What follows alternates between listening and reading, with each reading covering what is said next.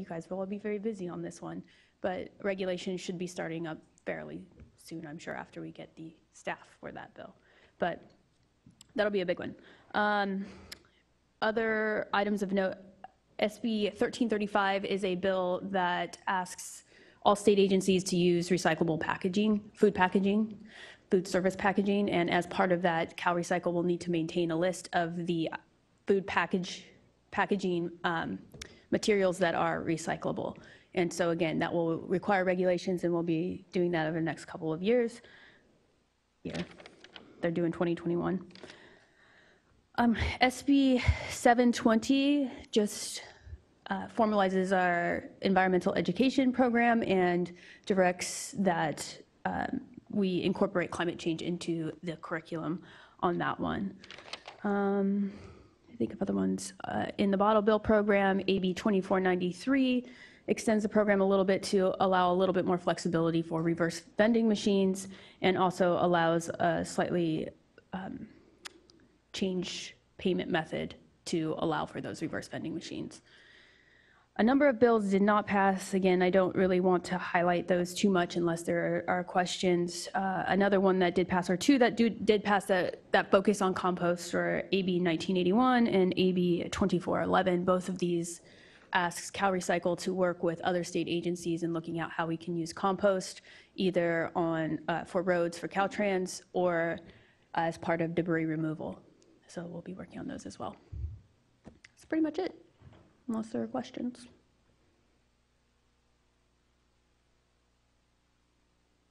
Do we have mics?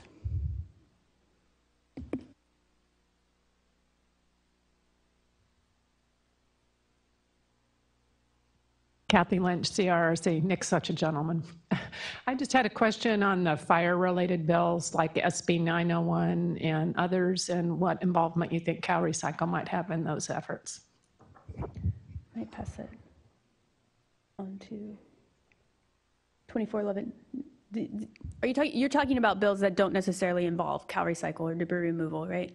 So, I mean, Cal Recycle will be a part of those efforts, and I'm, I'm looking down at the team who works on fire a little bit more than I do, but, uh, you know, our role in fire is related to being tasked by the governor's office, so that is mostly related to debris removal. So um, if our, if we need to extend beyond that, Right, I don't have a, I didn't prepare for this question, but, um, and I don't have a complete recollection, but I, I do recall that some of the um, uh, bills were talking about use of um, compost and Yes. mulch um, in fire-damaged areas. And I believe Calrecycle may have been mentioned as being available for consultation and and that sort Absolutely. of thing, As- but no direct responsibility in, um, in some of those areas. Right, AB 1981 asks us to be, well, it's, a they add CAL FIRE to an existing task force that talks about compost use. So we are part of those conversations already, and CAL FIRE's input will be very helpful as those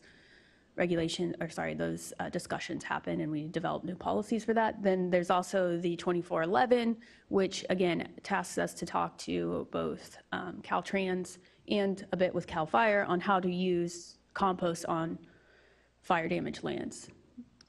Thank you. I think that what we're looking at is sort of the market development side of this as we get into 1383 and others. There is a lot of research on the use of compost in fire scarred lands. So we'd like to see you be more involved, even if you don't have direct responsibility as part of market development.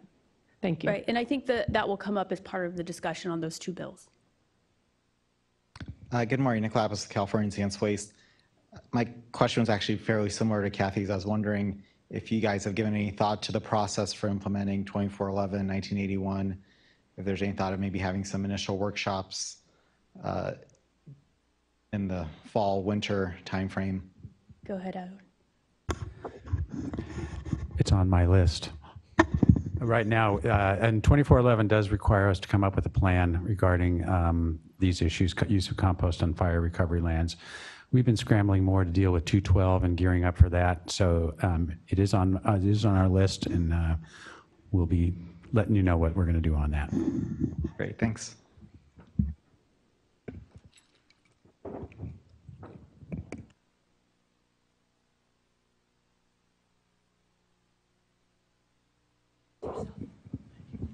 Evan Edgar, California Compost Coalition. I'm going to triple down on compost, on both um, 1981 and 2411. Um, 1981 actually adds fire to AB 1045. Yes. And we've been working on that for years, and that's been lagging behind. I'm glad there's a relook at 1045. There's supposed to be quarterly meetings with annual meeting by, um, annual update by Cal EPA. We've been asking that for every six months. Hopefully, this will restart the process to get 1045 to some type of recommendations and annual report in order to actually support the compost use. On 2411, once again, that bill um, kind of implements a bill from 1991 with regards to compost use. Caltrans has been specking out compost since 19, since 1991, and at this point, they're only using about 40,000 tons per year, about 1% of the market. There's supposed to be an annual report that they have a um, buy recycled annual report, and they don't even report upon that. So it's great that we pass laws to implement laws, but uh, we're looking for implementation this year with this opportunity to help out fire ravaged lands. Thank you.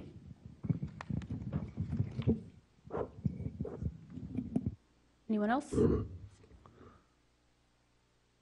right. Thank you, Ms. McIntyre. Um, So also under Director's Report this morning, I just want to take a minute and uh, recognize an employee who is going to be retiring uh, from CalRecycle, uh, Mr. Tom Estes, who is currently our uh, uh, deputy on our executive team. Um, So Tom, if you could just step down here for a minute and we can embarrass each other for a minute. Just to- Better than a public flogging. Um, So I, uh, we've written something here for Tom. I'm not going to recite it in its entirety, but just to give you a flavor of um, how we feel. So, On behalf of the state of California and the Department of Resources Recycling and Recovery, I want to offer my deepest appreciation for your dedicated leadership and your valued contributions to our mission of greater sustainability, environmental protection, and health of our state's economy and its people. You began your service as a landfill inspector in Southern California, and you transferred to uh, Sacramento as a spokesperson in public affairs, which I'm still not sure how anyone allowed that to happen, but that's another story altogether. Um, You later took a leadership role in um, California's first sustainable building program, so he's a, um, before his current role, he had a a pretty uh, diverse background. Um, Drawing from your previous private sector experience in business administration, you assumed an executive staff role as our deputy director in charge of administration, finance, and IT. Uh, This job included oversight of a $1.5 billion budget, which was not without its unique challenges, including the complex job of merging CalRecycle's two legacy uh, agencies in 2010. Your selfless service and decisively engaged leadership has left a lasting impression on this organization. For those concerned about how you will now fill your time in a satisfying manner, they needn't be. Anyone with a loving family, dear friends, an adventurous spirit that has taken them to locales around the world, a bevy of hobbies such as four-wheeling and photography, and return to the childhood home in idyllic San Luis Obispo is a friend to be envied. When you took this job, uh, a job with this organization in 1987, you planned to stay for one year. Your decision to make a career with us has been of lasting benefit to the cause of recycling and the well-being of our state. We will miss you as a colleague and a friend and wish you the very best in retirement. So I just want to say, uh, yeah. Um, You dwarf my presence here in this department, but I'm, uh, I'm, I'm here now, so I'm the guy that gets to, to, to see you off. And I've appreciated working with you and your laser-like focus on maintaining the credibility of this department um, from the lens of the, your chair as a deputy. You've been fantastic at that job, um, and you've provided uh, endless sort of humor and comic relief for all of us and good friendship. So thank you very much, Thank you, Tom. Scott. Yeah. Very nice. Thank you.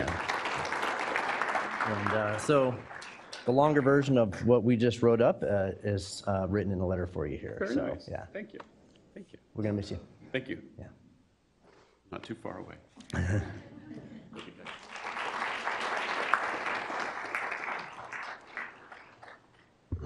Okay.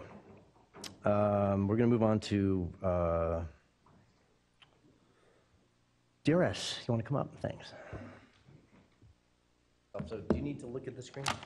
Uh, probably. Okay, so apparently this is, I know. It's, okay. somehow, Sorry. is that to work? for you? Yeah, that's fine.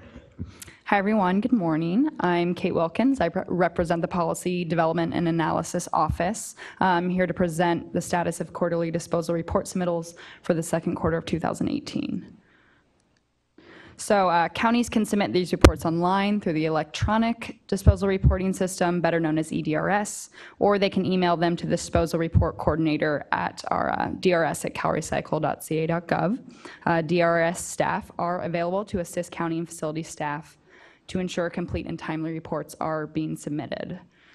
So uh, the quarterly due date for the second quarter was Monday, October 15th, yesterday, 5 PM.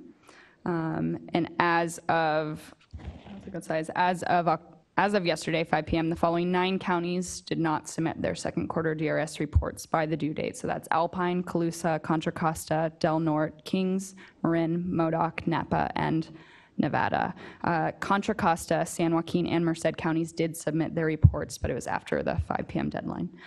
Um, We have been seeing an increasing trend in late submissions in the last few quarters. Counties must report through the EDRS system through the second quarter of next year. So transfer stations and mixed waste processing facilities are also required to submit quarterly station reports to the counties. And in quarter one of 2018, uh, only 58% of facilities submitted their QSNs. So more than a third have not submitted those quarter one uh, quarterly station notifications. We are hoping to see these numbers improve because these facilities will be required to report under AB 901, recycling and disposal reporting requirements, and uh, will face penalties for late reports or non-submittals. So the, the second quarter QSNs were due yesterday at 5 PM also. Um, There are still some counties who have only submitted a portion of their facilities, but we are working with these counties to obtain 100%. So the advantages of submitting reports online to the EDRS system makes the data available immediately for jurisdictions to review. And after review, jurisdictions can request revisions if necessary uh, in a timely manner, and this improves accuracy and standardizes the disposal data. So counties are encouraged to upload and enter their data into EDRS every quarter.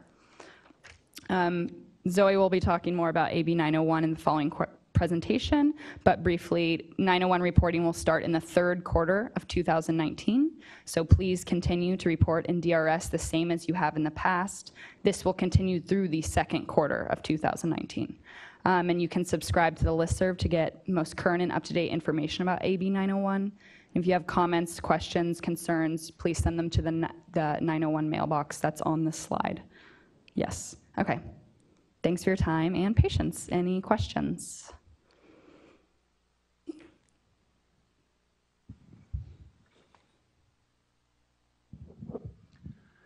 Evan Edgar, Edgar Associates.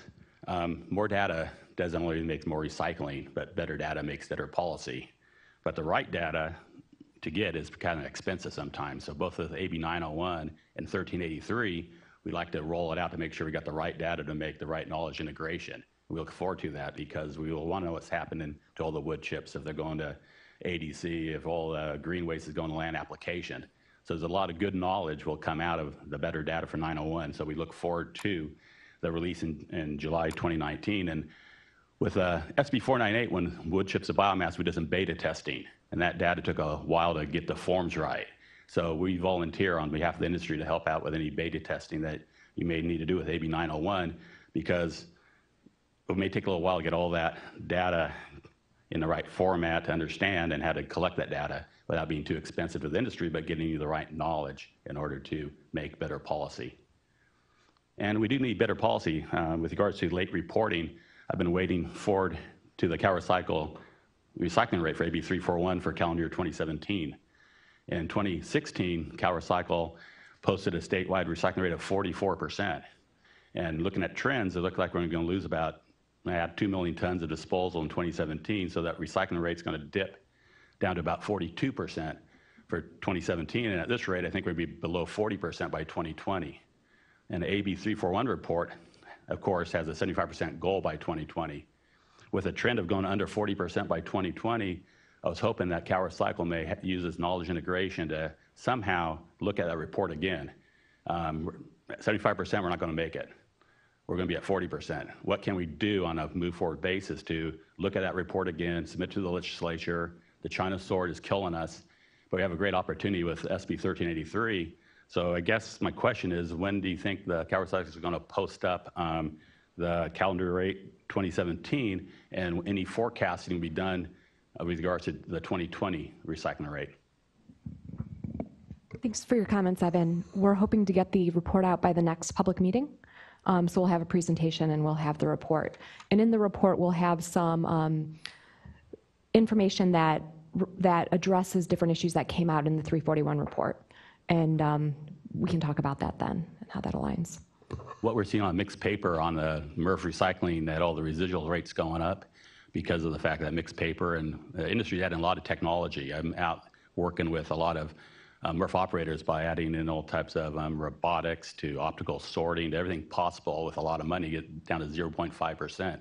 Even with that, mixed paper, mixed plastics having a tough time to move it. And the trend analysis from your export report was 22 million in 2011 down to I think it was 15 million in 2016 and dropping quickly. And the landfills are filling up quickly. So it'd be nice to see some forecasting. I know you have a nice workshop coming up on November 7th about the China sword, but any forecasting to 2020, because we're going to be under 40% by 2020 and far away from 75%. And we got to turn the ship around, but I don't see how we're going to do it. Yeah, we can take a look at that. And um, along with our state of report, we'll have our exports report coming out as well for this year. Thank you.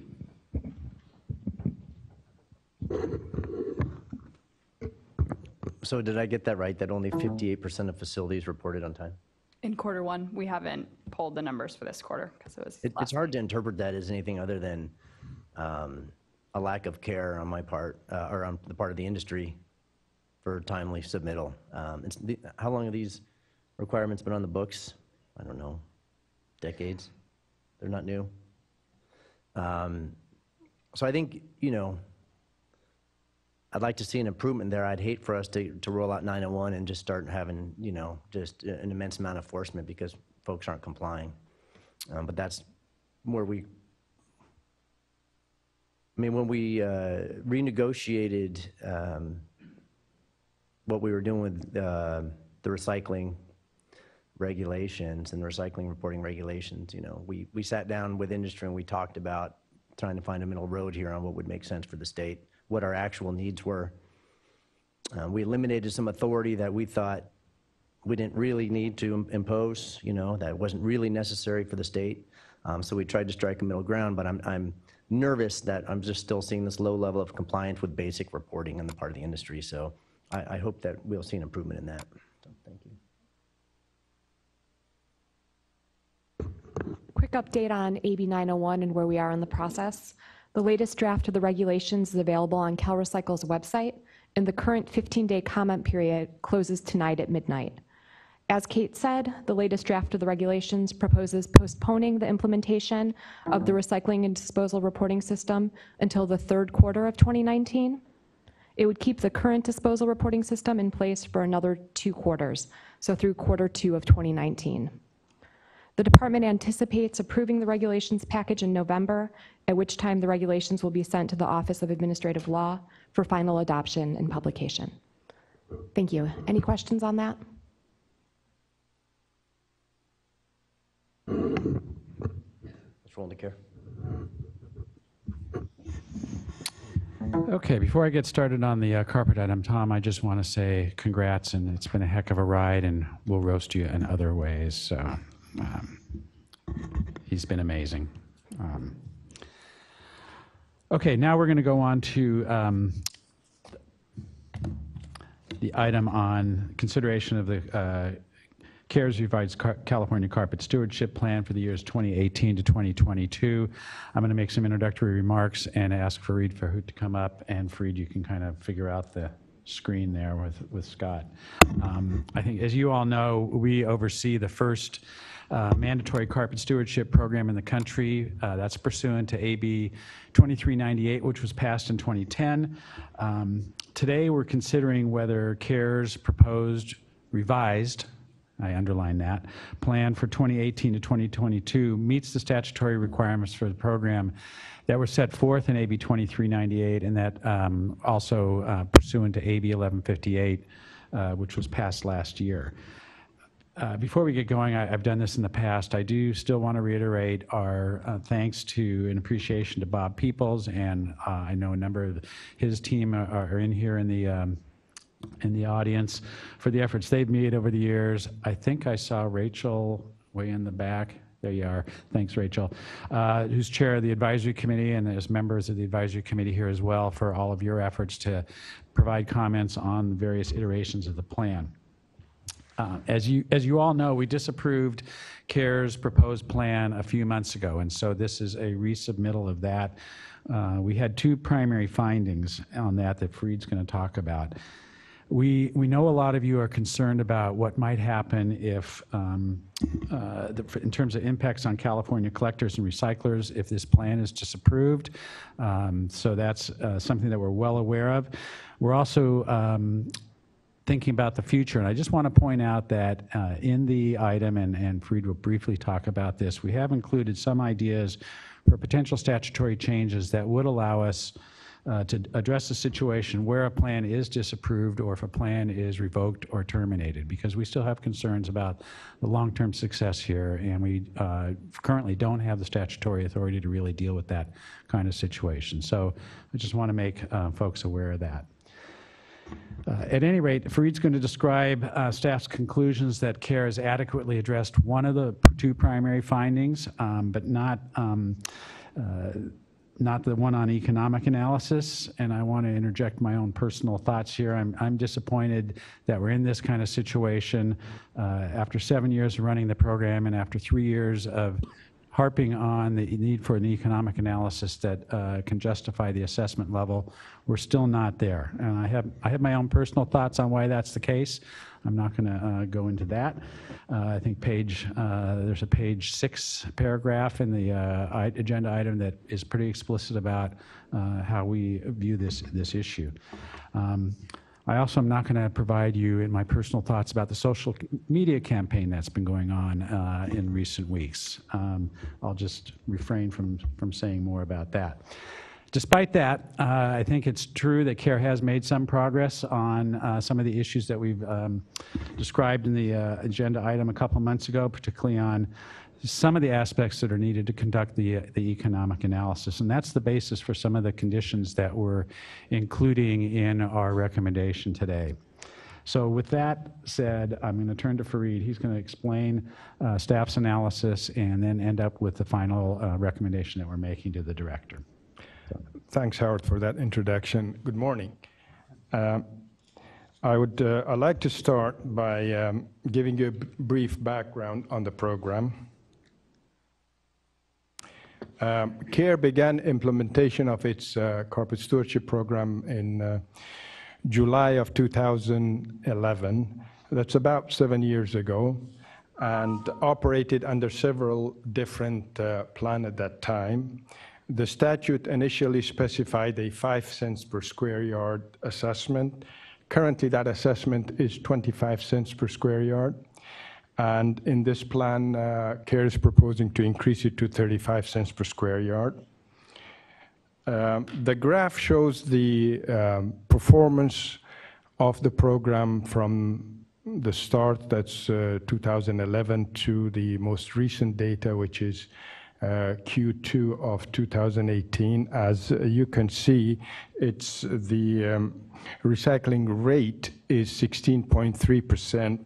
I don't know if this, you could see this, this is, uh, maybe it doesn't show on the, on the white, the, the laser, but um, uh, anyway, CARE is uh, uh, required by statute to meet a recycling rate of 24% by January 1, 2020.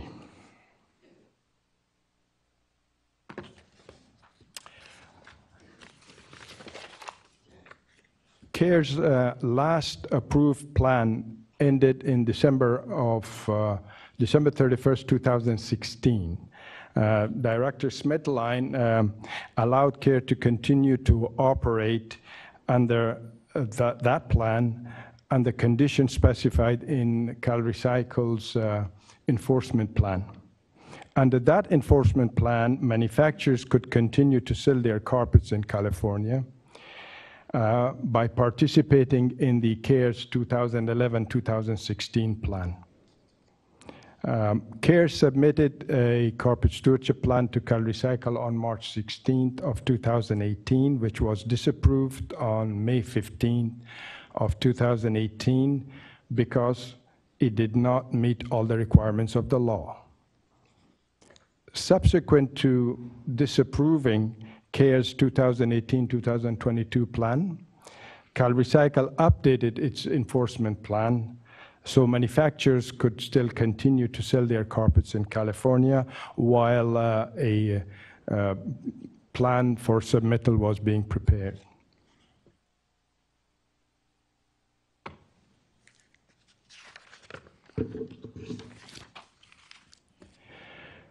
CalRecycle disapproved CARES plan on May 15th of this year, and both the reasons uh, for disapproval and the requirement that must be met in the revised plan were specified in the May 15th request for approval or the RFA. As described in the RFA, a revised plan would have to address a number of requirements related to grants, incentives, and uh, subsidies uh, in order to obtain plan approval. The requirements included a revised subsidy structure that incentivized recycling of carpet materials with the highest recyclability, a revised structure of the grant program that incentivized recycling of carpet materials with the highest recyclability, um, description, describing a methodology that CARE used uh, to determine how uh, each product material or carpet type was ranked for recyclability, and then allocation of funds uh, for in, in, uh, in, its budget uh, for incentive and uh, or grants to state-approved apprenticeship program for training apprentice and journey-level carpet uh, installers in proper carpet recycling practices. The second set of requirements that needed to be addressed in a revised plan uh, related to the funding mechanism for the plan specifically. Uh, CARE needed to uh, provide CalRecycle a complete description of its economic analysis that one, estimated the cost of achieving a recycling rate of 24% by January 1, 2020, and 26% by December 31st, 2022, and show that that analysis uh, supported the assessment of 35 cents per square yard, and also include um, uh, maintain an appropriate reserve fund uh, balances. Uh, staff considered CARE's revision to the plan to address requirements related to grant subsidy and incentive uh, sufficient for plan approval.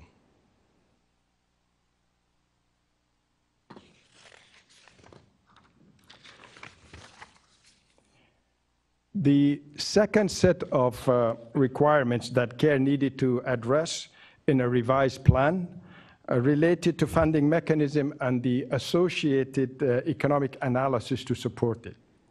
CARE's revised plan included selective examples and descriptions of a number of its models. Uh, uh, it was the subsidy justification model, um, financial model, economic, and uh, conversion cost models. But um, CARE did not provide a full description of its analysis to justify the 35 cents per square yard uh, assessment. Um, CARE's revised plan acknowledged that the operating cost for collector sorters is unknown and proposed to survey collector sorters to better understand the average operating cost for collector sorters providing backup uh, pickup services uh, for retailers. CARE committed in its revised plan to complete a collection convenience study, which includes both the cost uh, uh, to private collection network and uh, uh public collection sites.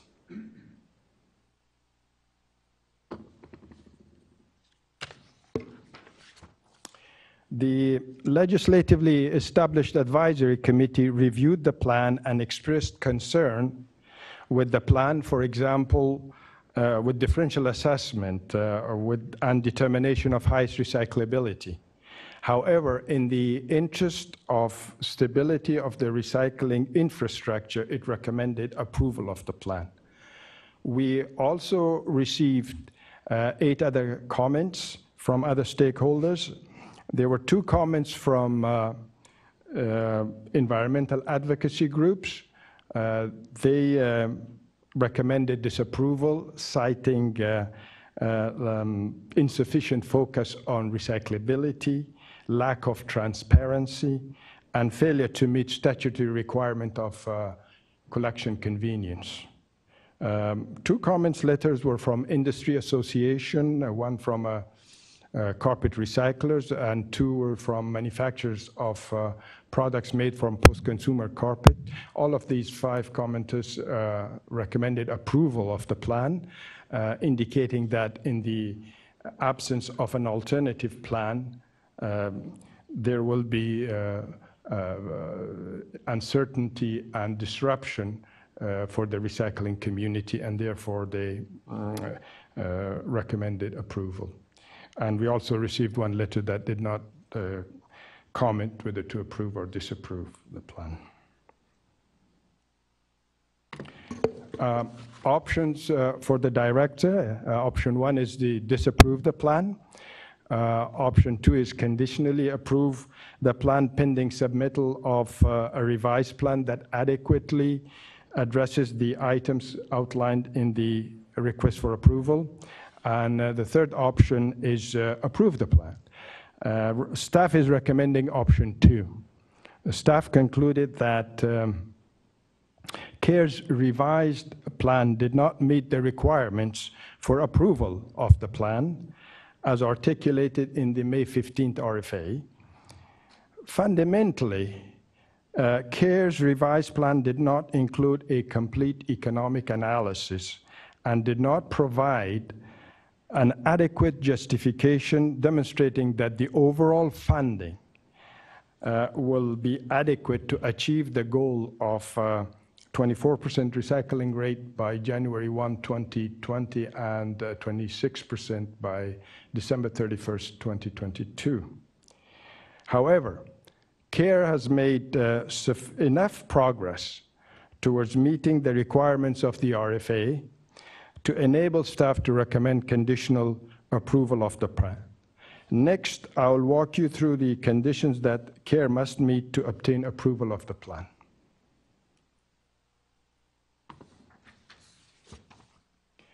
Uh, CARE must commit to conduct and provide CalRecycle an independent, detailed economic analysis.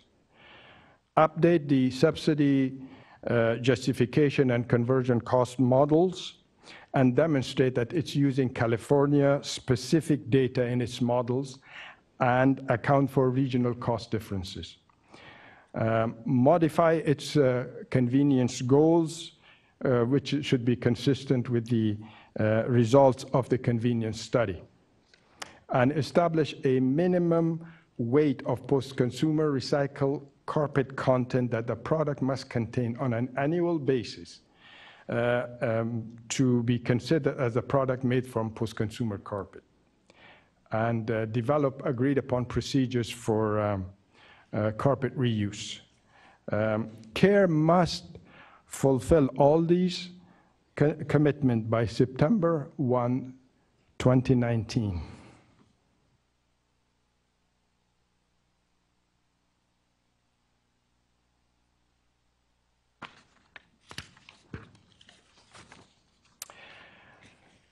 The plan must incorporate required changes, uh, including changes recommended in the attachment 5 of the RFA, CARE can put all of the changes into a new separate chapter or a section at the beginning of the plan. This must be done within 60 days, that is uh, December 15, 2018. The plan needs to include statements and be clear that the new chapter supersedes anything that conflicts with, within the body of the document. CalRecycle is not asking uh, CARE that the changes be made in the body of the plan by December 15th. Those can be incorporated over time. Uh, Per statute, uh, CARE must submit to the advisory committee within 30 days, that's November 15, uh, the draft new chapter. The AC would um, review and comment uh, it and will limit those review and comment to the new chapter, not the whole plan. Once CalRecycle receives the um, plan on December 15th, CalRecycle will have 60 days to review and um, the changes and will make recommendation via an RFA uh, either in January or February of uh, 2019. And uh, it's again, I like to emphasize that CARE must fulfill its commitment by September 1, 2019. That concludes my presentation. Thank you. And I'll turn it back to Howard. Thanks, Fareed. Uh, I appreciate uh, that you made a very complex subject understandable and, and relatively succinct. It is complicated, and our recommendation is complicated, so I want to reiterate a couple of things. Uh, One is, again, we are recommending conditional approval, which if the director uh, does agree with that, that means that things can go forward under this, under this plan. But we are expecting a number of things to happen. There, there are some things that need to be completed uh, within the next 60 days, and they need to be described and included in what is submitted in the next 60 days. And those are listed on, in the first big bullet on, on page two. Um, There are other things that CARE is planning to do, such as convenience study and continued work on the economic analysis. And What we're basically saying is we want to see a commitment in writing in that new chapter in the plan that commits to completing those by September 1st, 2019. They're obviously not going to be done in 60 days, but we want a commitment. And that chapter will become a part of this plan and it will be enforceable. So that's the rationale behind having those things in writing, uh, both the completed things that it will be done in 60 days and the commitments to do other things uh, by September 1, 2019. I know that um, staff has a, a meeting with CARE after this uh, item to talk through some of those logistics, assuming the director does uh, approve this, that recommendation. So there's more details on that in terms of how to work that out. But one thing we didn't want to do was, uh, this is a, the, the carpet plan, uh, 400 pages or something like that. There are a lot of things that would um, have to be changed line by line. We're not expecting the line by line editing by um, in the next 60 days. That's why we're uh, saying put together a chapter that, on its own, a standalone chapter that says we're here's the completed results of, of the conditions on the first bullet in page two, and here are our commitments to the other things related to convenience study. Um, uh, AUPs, uh, the, the uh, economic analysis, things like that. So uh, hopefully that's a little, become clearer to CARE uh, and the, the CARE team after you, you talk to our, our folks. So I just wanted to reiterate that. Now I want to open it up to um, stakeholder comments. I'll offer Bob, usually you prefer to go last. Is that case today? Okay. Um, So I'd like to open it up to uh, any stakeholder comments. And we've got a couple of mics in the back.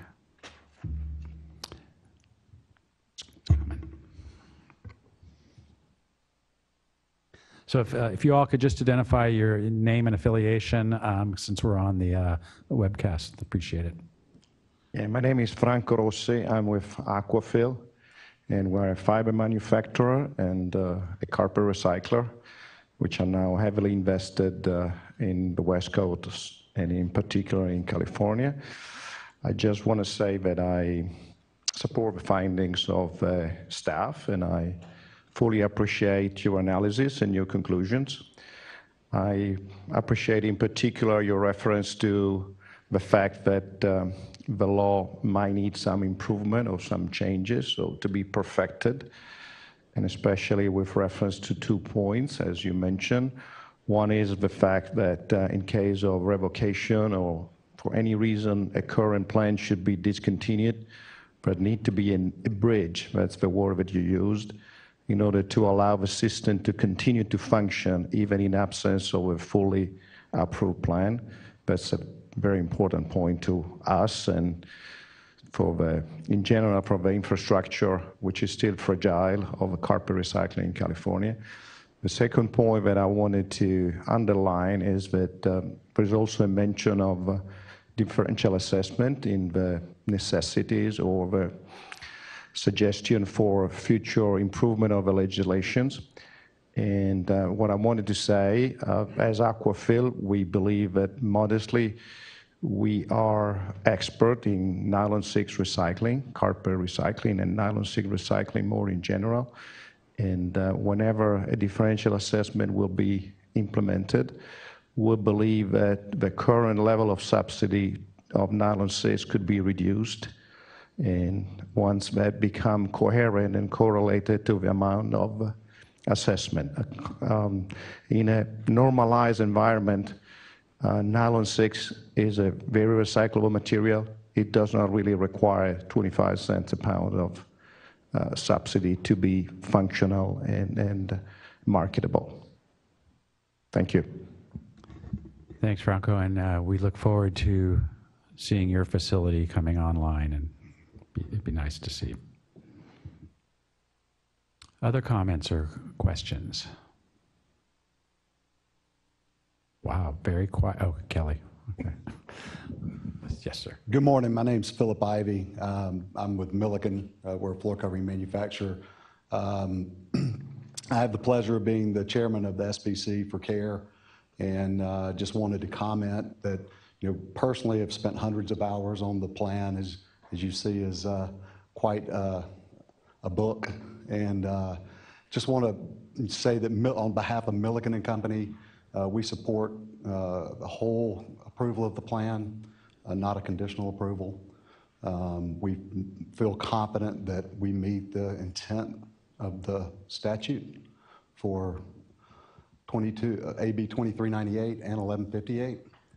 And, uh, you know, we also want to make sure that, you know, the plan moves forward so that it does not disrupt the recycling industry in California uh, that has been built over the last eight-plus years so that the plan's been in place. And uh, we think that what we've got there is a very good plan that's very doable and that we provided the intent necessary to meet the requirements of the law. Thank you. Thanks for your comment. If I could just ask a clarifying question of you, is it your belief that the charge of this department is to approve or disapprove the plan based on the intent of the statute? Uh, It's my belief that, that we, that the intent is that we have, the plan has to meet the law. I'm not sure that answers your question. It does not. You said that you think the plan meets the intent of the statute. That's correct. Clear, okay. My question was, is it your belief that the charge of this department is to approve or disapprove based on meeting the intent of the statute as opposed to, I'll be more clear, the letter of the statute? Uh, I I wouldn't propose that I'm a professional, uh, uh, that I have the knowledge to Fair answer enough. that Oh, oh, question. And I, I don't mean to pin you down. I just ask because it's our belief and our understanding, just for clarification, that our charge is to approve or disapprove a plan based on the letter of the law. So just, And and could you just explain the difference for me, the letter of the law versus the intent? yeah, there are a number of sections that have specific requirements in the statute. Um, And so we read those, and then we lay the plan next to it, and we go through item by item, section by section of the statute to see if the plan as presented to us meets the requirement, the plain reading, if you will, of the requirement of the statute. Um, It's not our belief that we have the flexibility to say, well, generally, this plan meets the intent of what the legislature wanted, even though there's sections of it that don't meet the specific requirements. So that would be, in my mind, the difference. Gotcha. There certainly are some parts of the law that have interpretation though, right? Well, all of it. Uh, Like most recyclable product, I'd say you you could argue that all of it's open to interpretation on some level, sure. right? But that's also our job. Sure. Okay. Thank you.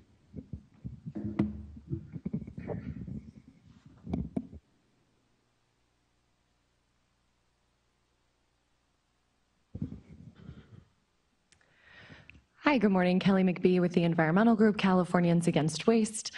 Um, I wanted to say that Californians Against Waste agrees with Cal Recycle that the plan is not ready for complete approval at this time.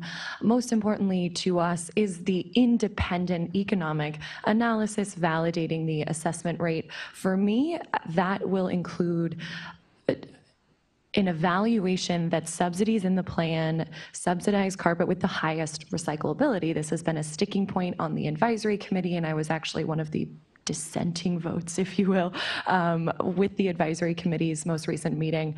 Um, saying that because that is not included at this point, the plan cannot be approved. I think subsidizing carpets with the highest recyclability is one of the strongest components of the most recent carpet law, AB 1158, and I really look forward to seeing um, how CARE is able to incorporate that in the next submitted plan. Um, Additionally, I wanted to compliment CalRecycle on the compilation of the statutory recommendations. I think that's really important moving forward um, to ensure that we have kind of a stopgap uh, backstop in the event that another plan is disapproved. Um, I, my favorite of those recommendations is definitely the uh, requirement for differential assessments. I think that's critical. That's been another point that I have repeated um, in every advisory committee meeting that we've had, that in order to incentivize green design of carpet in order to potentially shift markets into carpets that are most recyclable, we need to have a differential assessment. And so uh, Californians Against Waste would be supportive of the legislature uh, moving forward with that recommendation, um, as well as the remaining ones that CalRecycle made. Thank you. Thanks, Kelly. Heidi? Thanks. Uh, I'm Heidi Sanborn with the National Stewardship Action Council, and I can support everything Kelly said. Um, And I want to thank CalRecycle. You guys did a great job on the staff report and the analysis. Um, As you know, we sponsored AB 1158 last year, which created the advisory committee, and I also want to thank them because there was an awful lot of work and a lot of time put in, and these are very difficult decisions, and I think they deserve a lot of credit for the amount of time they put in to try and make this program work. Um, Today feels like Groundhog Day. We've been here over and over and over and over again. Um, CARE has failed again to provide what has been asked for for years on this economic model. To date, we still have 28% of the counties that have no collection after this bill passed originally in 2010. Our recycling rate has only increased 1% a year from the date the bill passed till now. We're gone from 8% to 16%. Um, And they've submitted an inadequate plan again, which puts instability in the carpet recycling system, puts Cal Recycle in a hard spot. And really, we believe the only options are disapproval or conditional approval at best. The good news, though, is that we still have the highest recycling rate of carpet in the, in the country, so it's better than nothing. And um, Aquafil has sited in Woodland and is in the press, and they've made a large investment, and we're extremely grateful for that because at a time when we're losing markets and we're not meeting our recycling rates, we need to give the businesses support that have made large investments in California's infrastructure. So if Director Smithline accepts the staff recommendation, we see it as CARE's very, very last chance to get it right.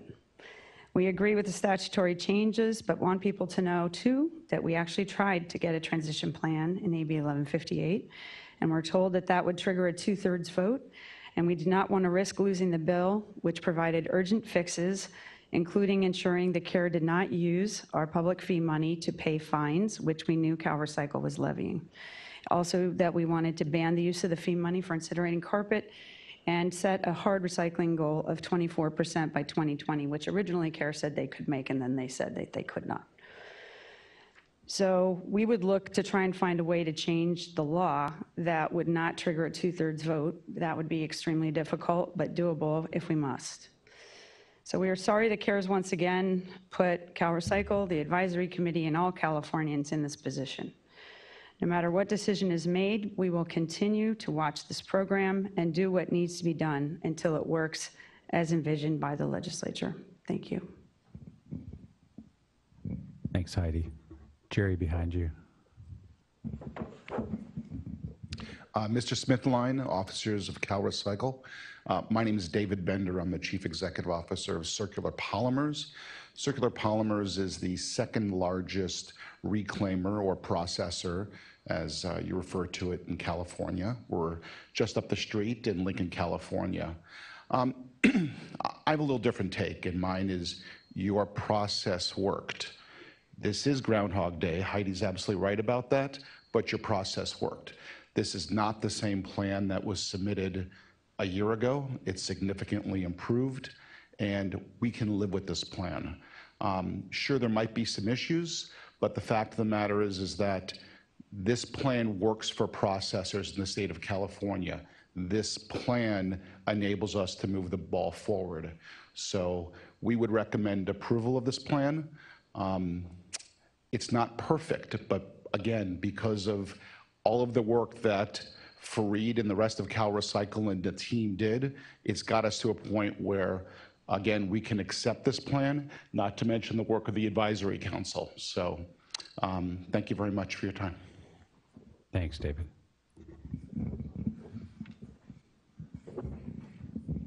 Eric, you're up next. Thanks. Good morning, Eric Nelson. I wrote a few things down so that I didn't forget anything. I've been working to promote carpet recycling uh, in California and across the country for 13 years. I work for Interface. Interface is a leader in carpet manufacturing, also known globally for our sustainable business practices.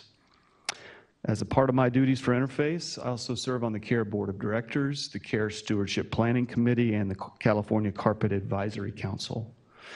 I also work with many collectors and recyclers across the country. In the spring of 2011, I actually helped write the original stewardship plan after AB 2398 was passed. I am personally invested in this program, and I desperately want it to succeed. Over the years, I've been to many public meetings, but never once have I chosen to make a comment until now. Today seems a little bit different. Today, I represent Interface in recommending disapproval of the latest plan submitted by CARE. I have worked faithfully with my colleagues, the CARE SPC, to create the best plan possible. And while we've made improvements, the plan fails several key pieces of the legislative intent. Most importantly, although not in statute and has been mentioned here several times already this morning, the CARE plan fails to adopt differential assessments. It only promises to take a look at it. In fact, as practiced, the CARE plan penalizes products that are more easily recycled. Nylon carpet, which is more recyclable, and requires much lower incentives to move in the marketplace actually subsidizes polyester carpet. This practice takes the industry in the wrong direction. According to industry trade publication Floor Covering News, polyester share of the residential market 10 years ago was 25%, compared to nylon at 60%. Today, polyester and its cousin triexta together make up a whopping 66% of the residential market. Nylon, it's down to 25%. And because PET carpets are typically replaced more frequently, this effect is exacerbated in the collections market. We appreciate the view that some stakeholders have in urging a conditional approval, including short-term market pressures, lack of a defined transition plan, and the uncertainty of continued subsidy payouts. Despite this, we urge the state to focus on the longer-term goal of an appropriate and workable plan that will give this program new life. Director Smithline, if this plan is approved, we will pledge, I will pledge, to continue to work with CARE in whatever way possible to achieve its goals and make the program successful for the citizens of California. However, as we have publicly stated, if the plan is not approved, Interface is committed to swiftly form a team of stakeholders to produce a new plan that takes the best parts of CARE's work and add in those critical ideas that will transform it into what we view is the best plan possible. and we pledge to create a governance structure that delivers on the legislative intent while meeting the needs of the industry. Thank you. Thank you, Eric. I, I appreciate that, and I know that that was um, difficult position to be put in and and to make those statements, so we're much appreciated. Yes, sir. Yes, good day. My name is Jay Hagan. I am here representing Mohawk Industries. Mohawk is the world's largest floor covering manufacturer and leading producer of carpet sold in California. We are here to provide our full support to the CARE Carpet Stewardship Plan for 2018 through 2022. Mohawk has a long history and proud uh, history as a sustainable industry leader. We fully support and have participated in the long-term efforts of the carpet industry to find ways to divert from landfills and recycle post-consumer material. For example, Mohawk is the world's largest user of PET bottles, diverting over 3 billion pounds of bottles from landfills, which we use to make carpet with 100% recycled content. We have invested hundreds of millions of dollars in new manufacturing processes to create high-quality carpet from PET bottles. We have also introduced our new Air.o Unified Soft Flooring product, which is made of 100% PET, including recycled content, and is fully recyclable back into carpet and other products. Mohawk is committed to furthering our work with CARE and Cal Recycle to make carpet recycling in California a continuing success. We are fully engaged with involvement and support of the carpet recycling statute and the stewardship plan. We directly support the mission of CARE and serve on the CARE Board of Directors. We proudly support CARE's newly submitted stewardship plan, which builds on our industry's commitment to finding the best solutions for our products at the end of their useful life cycles. This plan also reflects the lessons learned as we continue to address the significant challenges of a relatively new carpet recycling industry and a dynamic and shifting market which has dramatically affected the cost of diversion and recycling in California and elsewhere. Mohawk strongly believes that the plan is in full compliance with the carpet recycling statute. It is fully funded per state, per statute and addresses the concerns of the advisory committee. The advisory committee joins the industry in recommending approval of the plan. The plan is designed to meet and exceed the targeted goals, including the recycling goal of 24% by January 1st, 2020. Despite headwinds such as lower oil prices and the China National Sword Program, CARE has been able to drive increasing recycling rates while other stewardship programs in the state have been declining, and the state's overall recycling rates decline year over year. For the last three years, CARE has recorded a steady increase in the recycling rate despite major challenges in the marketplace.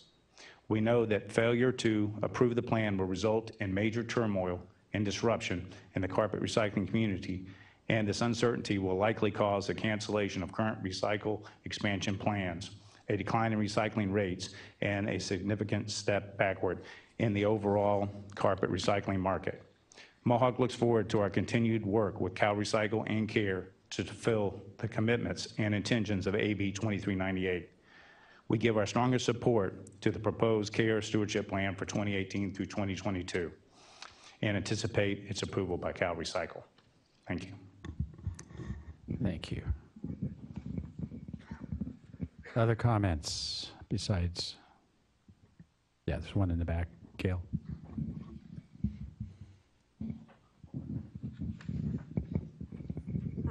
Hi, Gail Bryce with XT Green. Uh, We are building, slow but sure, a uh, advanced manufacturing facility to uh, process post-consumer carpet. And uh, this thing's echoing.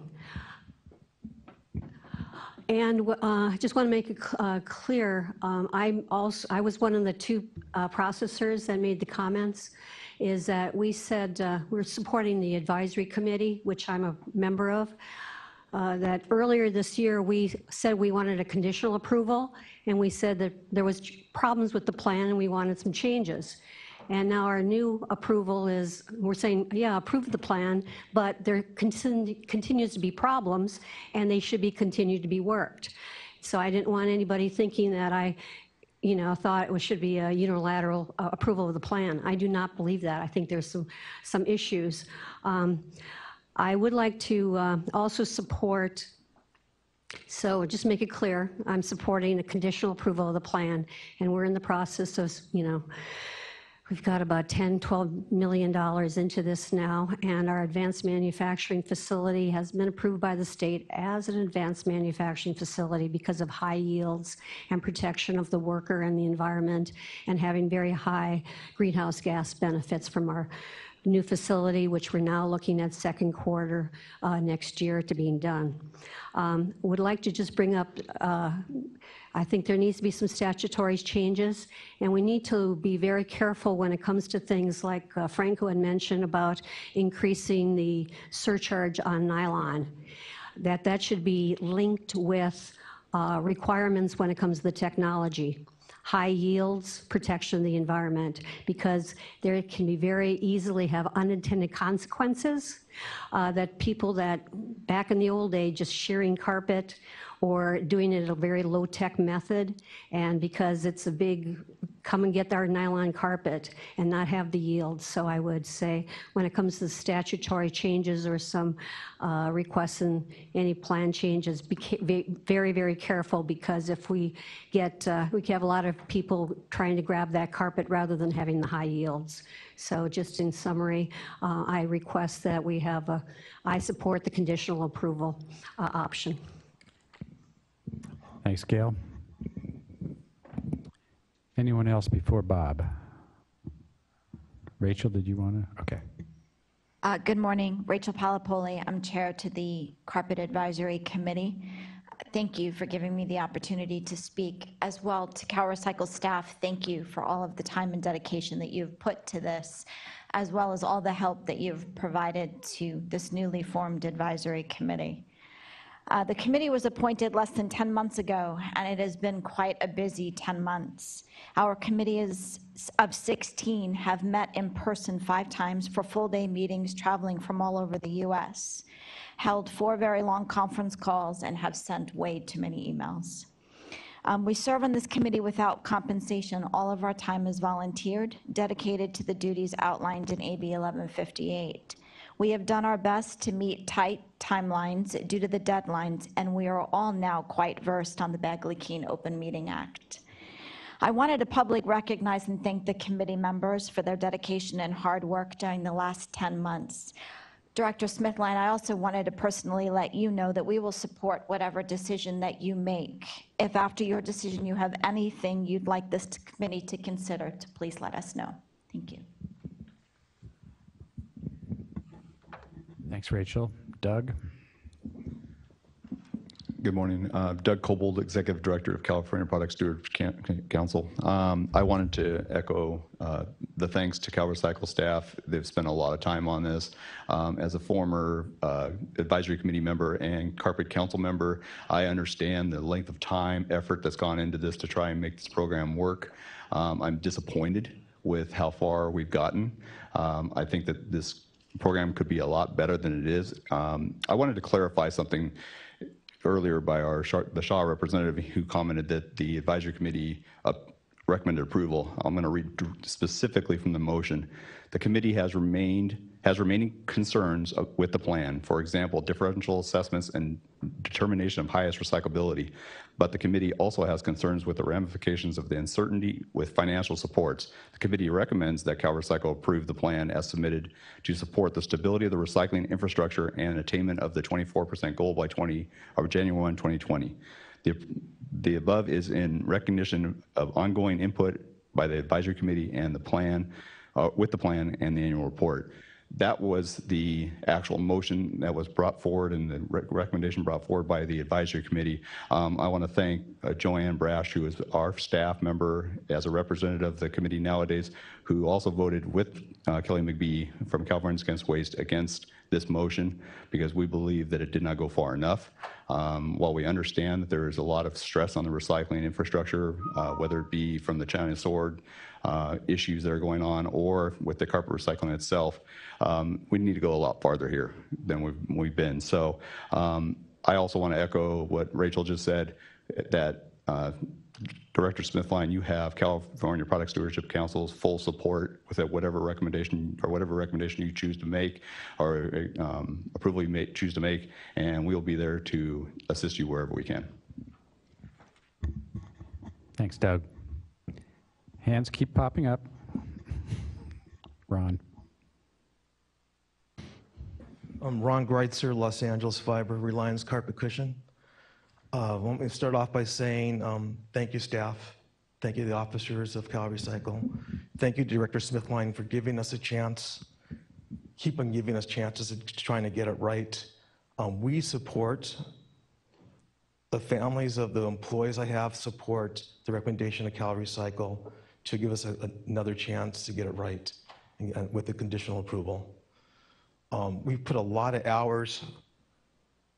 Speaking of um, with my CARE hat on, put a lot of hours trying to get it right. And we were, we were never trained on how to do this.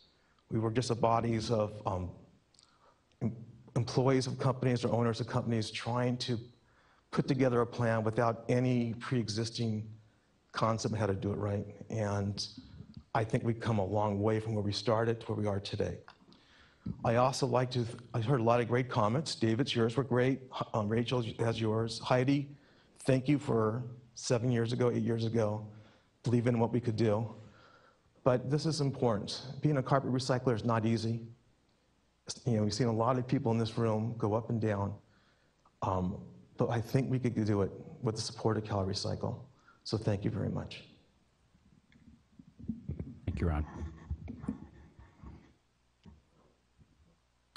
Okay, uh, not seeing any other hands, I'll ask um, Bob Peoples.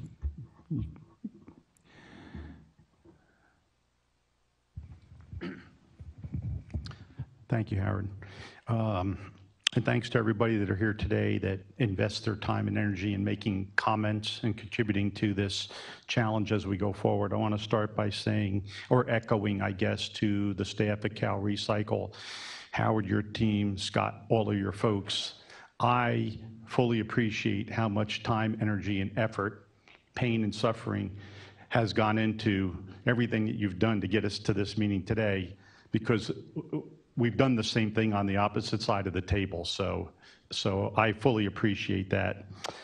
The, um, the hard work, I, I want to acknowledge the hard work of the CARE team here in California, some of my team members back in the West, East Coast, and also the members of the SPC who have met many, many, many times in person and by web calls at all hours of the day and night, given East Coast, West Coast, to try to come up with answers to this thing.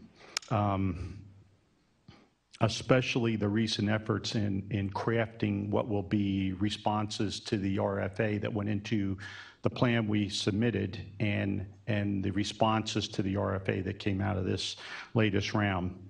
I, I believe it's been stated eh, that CARE has made some very good progress in 2018, and, and that's despite um, some significant new developments one of which I shared with Cal Recycle in the last week or so, and that is the suspension of operations of one of our key recyclers going forward for 2018 and 19. Um, it has, it will probably have a major impact on output. And uh, we're, we're working very hard now to creatively figure out how to respond to that impact. We're hoping it's transitory because I used the word suspended, not shut down.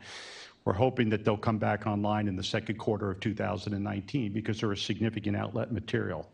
So we're actively working creatively to figure out how to respond to that. And that this development is barely two weeks old at this point in time. I, I, want you to know that CARE and the SPC are fully committed to meeting all the requirements of the statute.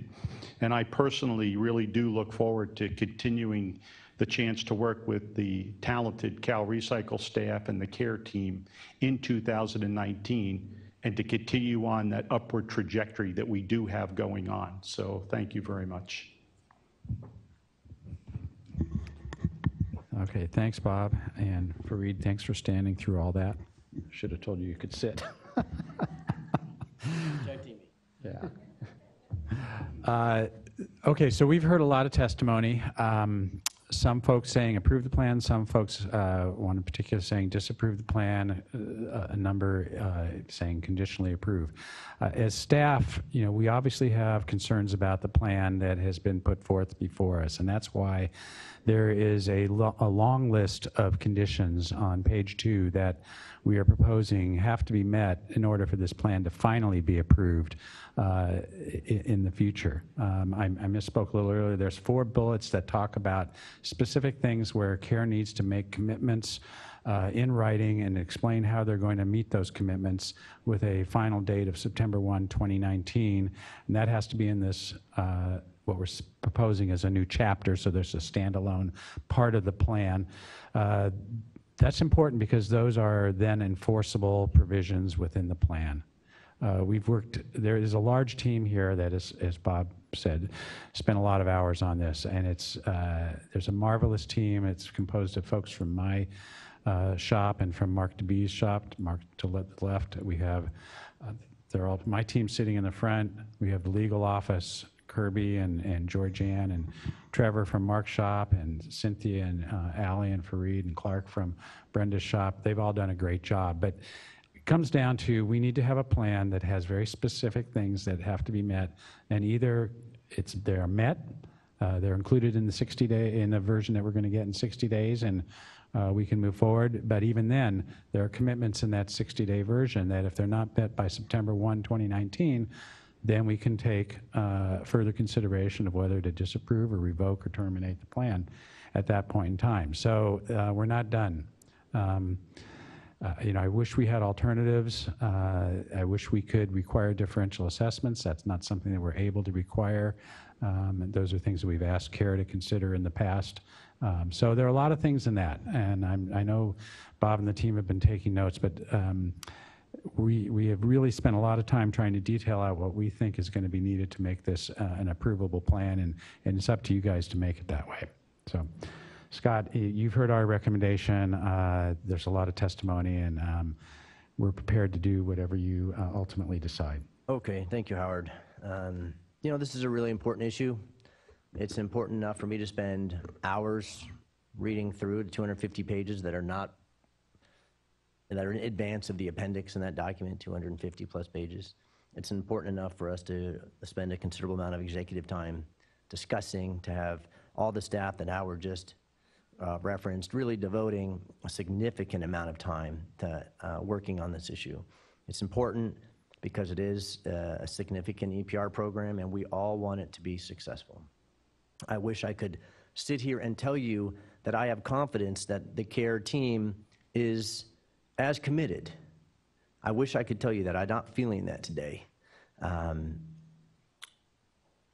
and just a number of weeks ago, the sense I got from the staff that we've been discussing that are doing all this hard work was that they were going to recommend that I disapprove this plan. And I was prepared to disapprove this plan. But at the last minute, it seems like additional efforts were made to make commitments, to do additional work, um, and to get serious about the requirements of the statute that we are obligated to require be met. Um, and that's significant, and I do also want to, I want to acknowledge that progress, even if it felt begrudging and late. It happened. I want to acknowledge the progress that the industry has made. Um, We do see some improvement in the recycling rate. Um, I spent this uh, round also significant time meeting with processors um, in the state of California, and I would say they were divided, Mr. Peoples, on whether or not this plan would meet the rates. And that's informative to me. That's informative to me. They were divided. But they didn't all say no. Some of them said, we think it can work. And that was, that was informative to me. Um, I don't approve or disapprove a plan based on my confidence in the stewardship organizations to implement the plan. Um, So well, that's not on the table for, for consideration. What is on the table is a list of specific items that have been laid out by staff that are required to be met in a 60-day timeframe and then again in a 12-month timeframe. Um, So under those circumstances, I'm prepared to approve the staff recommendation. But I want to be really clear that these conditional approvals will only take us so far. There have been uh, numerous times, together as a group, we have identified shortcomings in this statute. And the consequences of a disapproval are really still unaddressed, as far as I'm concerned, from a statewide perspective. Um, And since the passage of 1158, we have new tools, which include the path to revocation, in addition to enforcement. Let's be clear, the state of California has accused CARE of failing to meet the obligations of its plan every year that we have done a review. So that needs to change. We need to, to figure that out, because the next time may not be enforcement against CARE with penalties, it may be a revocation process, because that's now on the table for us. So, um, I'm not going to spend any more time with admonishments. We've been here before. I do want to close by saying I was hopeful after conversations with a number of the processors that this plan may actually work. So if you guys focus your efforts, maybe we will have a successful plan here, and I am prepared to embrace that um, if you all do the work. So let's get it done. Thanks. Thanks, Scott. Now, I, I know that uh, there's a meeting scheduled uh, between the CARE team and staff to go over some of these findings. So if you guys need to uh, leave, it's, it's A-okay. We're done with this item. Thank you all. I'll just give you a chance to get up before I move on. Do you want to?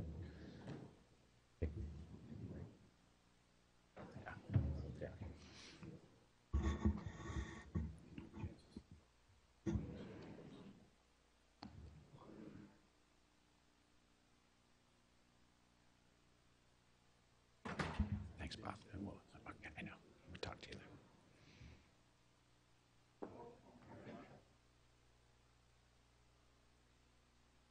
Okay, Ron. Talk to you soon.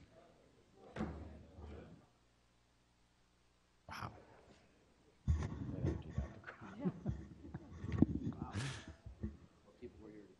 Yeah, wow.